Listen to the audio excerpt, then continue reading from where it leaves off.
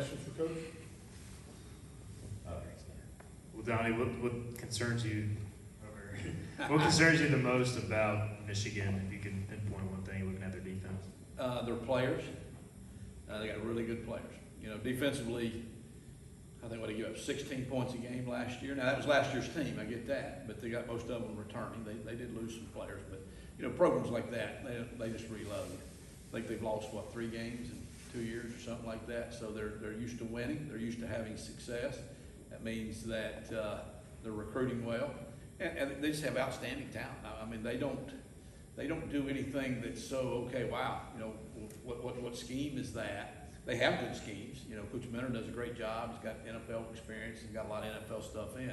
But, you know, that's not what worries you, what worries you is their defensive line can just explode off the ball and just throw the offensive lineman down and go make the tackle. And then there's like four other guys there when they make the tackle as well. They do a nice job, uh, with the interceptions. Uh, a lot of tip balls. I tell you what, you, you better not tip the ball, you know, as a receiver, because they do a great job of breaking on the ball and getting the turnovers and setting the offense up, you know, for success. So, uh, lot, lot of concerns. Yeah, a lot of concerns. Really a lot of respect for them. Very good, Coach. You're looking for any edge you can get here. Is, one of them that they haven't seen a lot of Mason Garcia, Alex Flinn, and, and this East Carolina offense in particular on film? Well, they haven't, you know, and, and so that, I guess that's something maybe they're trying to research. You know, I don't know that that's a positive for us, that, that means our guys haven't been playing very much. You know, it's probably better to have experience, uh, like that. But, uh, you know, we, we're looking for every way you can. We're looking for any kind of advantage. And, you know, you, you go in with a plan, uh, that may hold true. Uh, the thing about first games, it's always a little crazy anyhow. You're kind of sparring at the beginning, trying to figure out, you know, is that the same team? Like I say, we, we opened up with North Carolina State last year. They had been a great defense the year before. We were expecting a really good defense, which they turned out to be. But you're still getting in there trying to figure out, have they stayed with the same scheme? Have they, have they put in new things? Have they moved people around? And usually they have, and, and they had, and I'm sure Michigan will have some new things for us as well, like that. So, uh, I think our guys will be excited. You know, I think that's maybe an edge. I don't know how, I mean, they'll be excited to play. They're, they're probably not, their fans probably not thinking, wow, we're playing East Carolina. You know, whereas our fans and our players are here and, hey, y'all are going to play Michigan. This is pretty cool. Uh, so if anything, hopefully we'll be, we'll be excited. Maybe we'll be more excited than them if that's possible.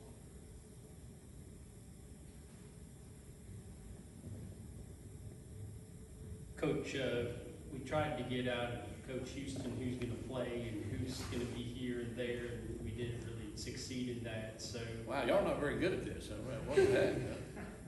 is there? How does the offense change based on your personnel?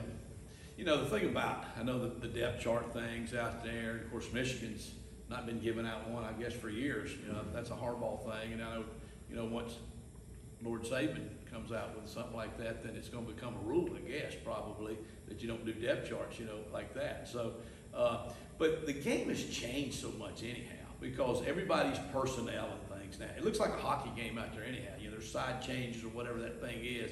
So, you know, we have ten personnel, you have eleven personnel, you have thirteen personnel, uh, y- y- you know, you have twenty personnel. But now even you have eleven Jari, you know, and you have eleven Jews, and you have, okay, I want this personnel, but I want this player in, to make sure, you know, or I wanna play these two guys, though they may be listed at the same position. Because, you know, you're a guard, you're a forward, you're, you're a center, you know, you get, you're an infielder, whatever you are now. It's getting more like that. You're, you're a mid infielder, you know what I'm saying? Or you're a pitcher, but you may start, you may not start.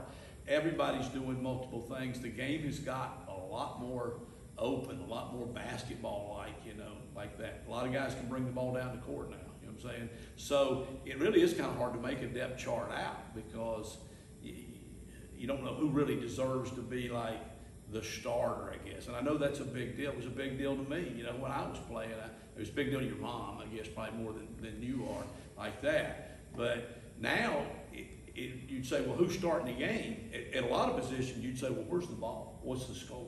You know, do we have it on the minus three? You know what I'm saying? Are we starting coming out? Well, that means we're gonna be in a different personnel because you got a game plan that. Do we get, did we run the kickoff back across midfield?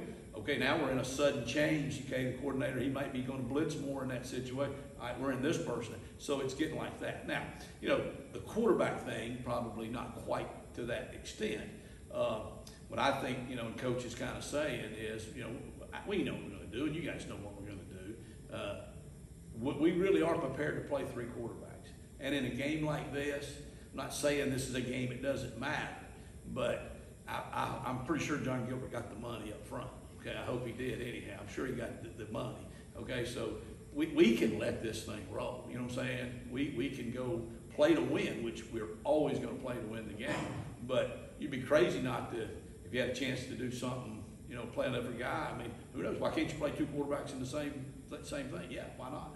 You know what I'm saying? If there's a play that that would be cool to do, this is the time to do it. You know, I don't know if it's time to do it when you're playing for the conference championship or the home opener, but this is the time to go do that. Last week, you said you were gonna get with, I guess, Coach Mogridge and kind of narrow down that offensive line. How's that gone the last week, and you found a five you're comfortable with? I think we probably separated up front that, that who's gonna play the majority. Uh, Coach Mogridge is from the school, and, and I am too, that we'd like to play more offensive linemen. In the past four years since we've been here, it's been, do we have five today? You know what I'm saying?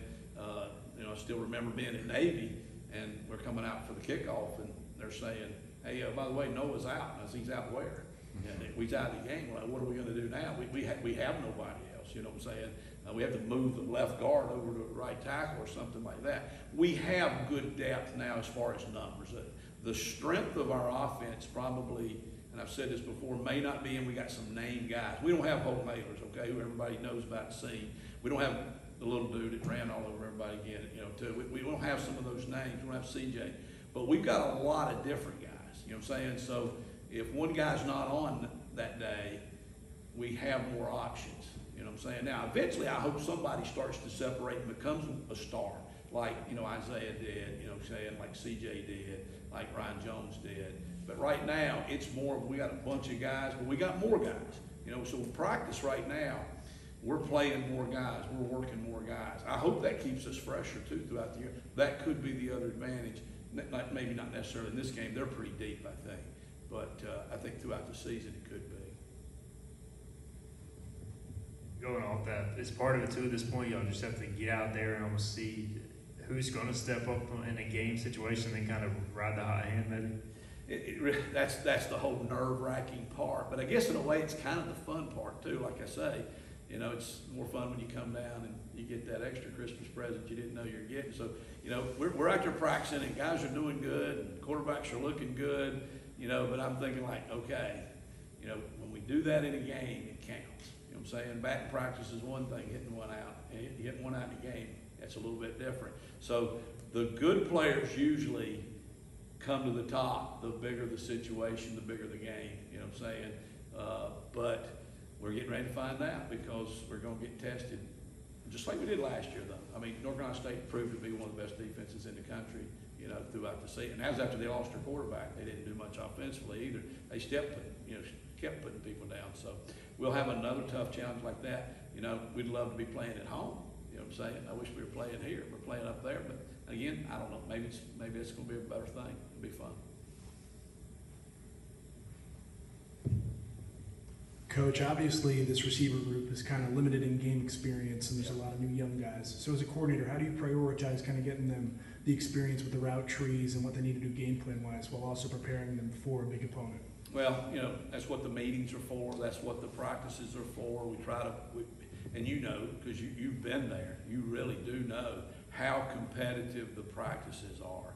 And I, I've said this to some of my friends around the country, and they look at me like I'm crazy. I say, you know, I'm a lot more nervous sometimes on Wednesday when we're gonna go against our defense on third down, because it's like brother on brother. You got, you gotta live with that then the next week, who won the third down competition. You saying? In the game, hell, they fly their way, we go our way. You don't ever see half of those guys again. So the practices being so competitive, I think they'll get guys ready for the game because everybody's in game mode out there. You know what I'm saying? And uh, smack talking's going on. You, you, you know how that is. So I think that's it. And I just think that you know we, we just we just practice a lot. You know we really do. We get a lot of reps. And like I say, there's a lot of talent in the receiver group. It'll be now, who's game ready, you know what I'm saying? And I don't know, I wish I did. Coach, uh, maybe not on the defensive side, but the offensive side, this gigantic stadium and crowd plays a big role. And, you know, you've been in some of those environments. Coach mentioned BYU earlier Yeah. yesterday. Uh, How did you guys work on getting them ready to go into that?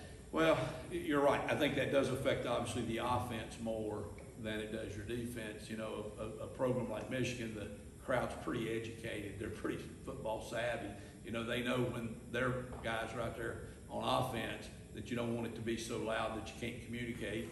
And then when the defense is out there, they're, they're gonna, they're gonna ring their bell, whatever they've got, and they're gonna try to get the crowd noise going.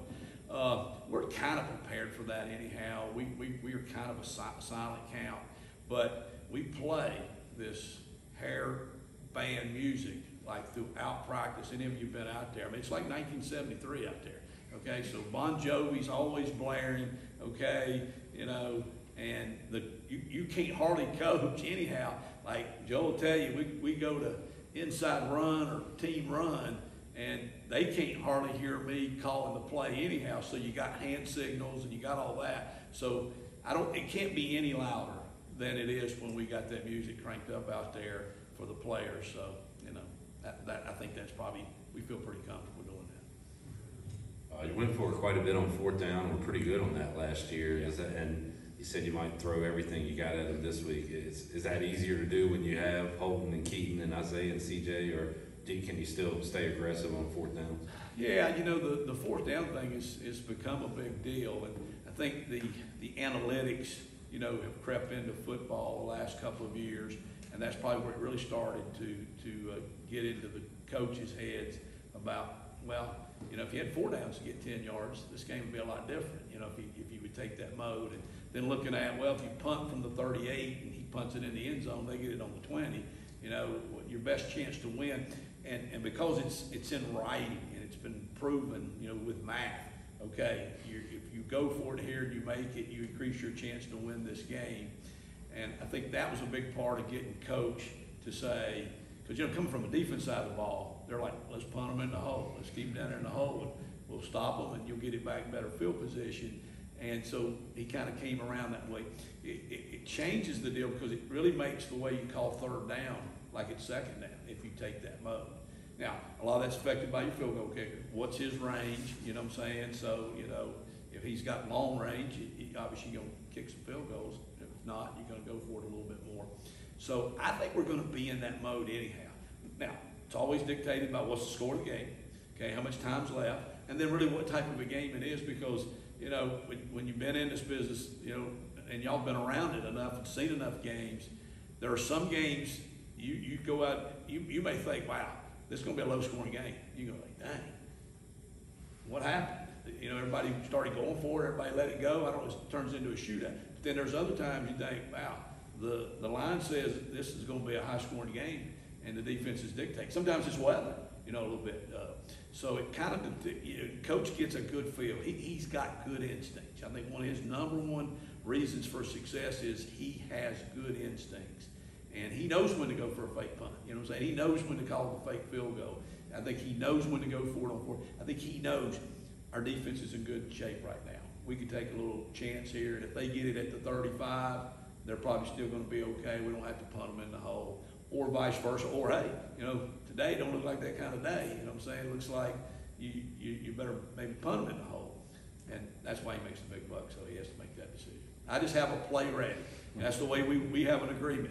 I'm gonna call a play and he's gonna say no, okay? But if you wait, time will run out, you know what I'm saying? So even like a two-minute offense, I'll be calling plays and he might be saying, no, we're calling timeout. But, you know, I can't wait to say, are you gonna call timeout here or am I gonna call a play? Because you've wasted five seconds. So I'll always have a list of fourth down plays ready to go. I'll always wanna go because I don't feel like I got as much to lose probably. Now, I'm not sure Blake's not giving me a little evil eye over there sometimes, but, uh, I think it all balances itself out. Anything else, Coach? Appreciate it, Coach. Thank you, guys.